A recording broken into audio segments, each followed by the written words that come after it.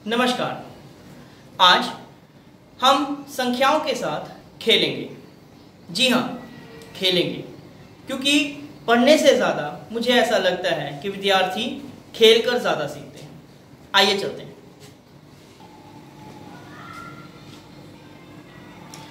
जैसा कि आप यहाँ देख सकते हैं, हमने यहाँ पर संख्या चक्र बनाए हैं और इस संख्या चक्र में सभी मान दिखाए हैं, इकाई, दहाई, सैकड़ा, हज़ार, दस हज़ार, लाख। लाख तक के वैल्यूज़ हम यहाँ पर दिखाएँगे। मेरे पास ये एक कटोरी में थोड़ी सी ये गीटियाँ हैं। इन गीटियों की मदद से आज हम संख्या चक्र, ये एक गेम है जो खेलेंगे।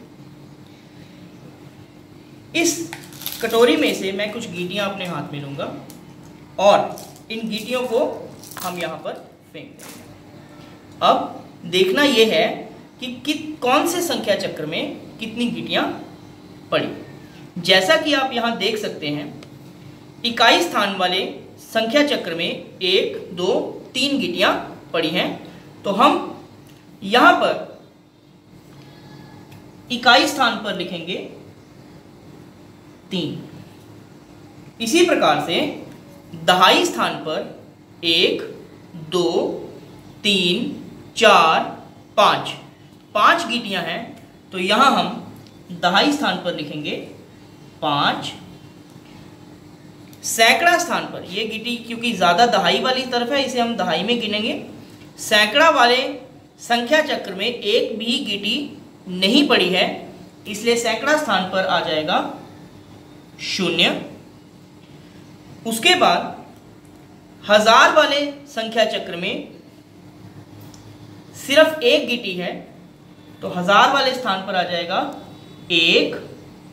इसी प्रकार से दस हज़ार वाले संख्या चक्र में भी एक ही गिटी है, इसलिए दस हज़ार वाले खाने में भी आ जाएगा एक। और जैसा कि यहाँ हम देख सकते हैं कि लाख वाले संख्या चक्र में एक भी गिटी नहीं है तो यहाँ हम लाख वाले स्थान पर शून्य लिख सकते हैं, और क्योंकि यह सबसे बाएँ स्थान पर है तो इसे ना भी लिखेंगे तो चलेगा। इस प्रकार से हमने ये गीटियाँ फेंक कर जो संख्या बनाई, वो है ग्यारह हज़ार तिरपन।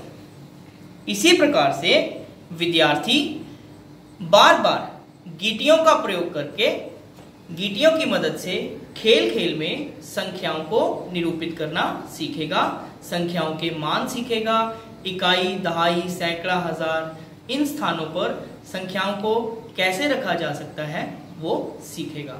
तो खेल खेल में संख्या चक्र बनाकर, संख्या चक्र पर गीटियाँ गिराकर बच्चा संख्याओं के बारे में सीख सकता है।